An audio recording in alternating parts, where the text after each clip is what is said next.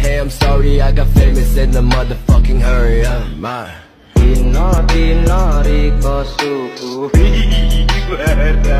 Di